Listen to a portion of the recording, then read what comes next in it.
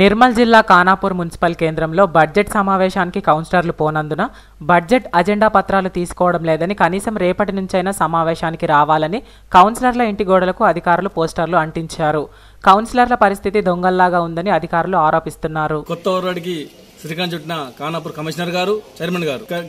కానాపూర్ మున్సిపాలిటీలో budget meeting జరగడానికి కోసం గత నెల నెల పదిహేను రోజుల నుండి మీటింగ్ పెట్టడం రాండి అని చెప్పడం జరిగింది.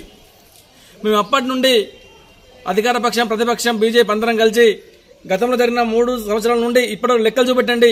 జమ ఖర్చులు జమ ఖర్చులు చెప్పండి. ఏదైతే ఉందో కరెక్ట్ లెక్కలు చూపెడితే మేము వస్తాం లేకుంటే రామని చెప్పని గత మూడు మీటింగ్లకు మేము పోకపోవడం జరిగింది.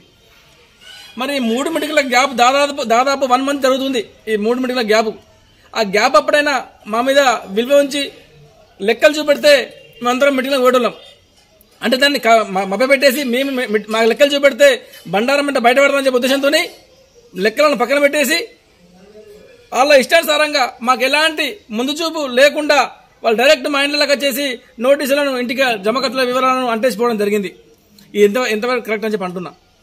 మీకు ఇప్పటికైనా దమ్ము ధైర్యం ఉంటే లెక్కలు చూపెట్టండి లెక్కలు చెప్పండి. మొత్తం లిఖితపూర్వకంగా చూపెట్టండి. మేము ఖచ్చితంగా బడ్జెట్ మీటింగ్ అటెండ్ అవుతాం.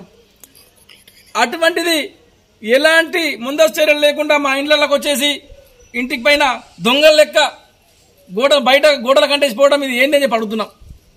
మాతో మాతో పాటు కక్షపూరితంగా అధికార పక్షం కానీ టీఆర్ఎస్ కానీ బీజేపీ కానీ అందరు కంటేస్తున్నారు. మేము ఏమడుగుతున్నాం అడుగుతున్నాం? ఉన్న దాంట్లో లెక్కలు చూపెట్టండి జమ ఖర్చులు చూపెట్టండి అని చెప్పి అడుగుతున్నాం. అది తప్ప అని చెప్పి అంటున్నాం.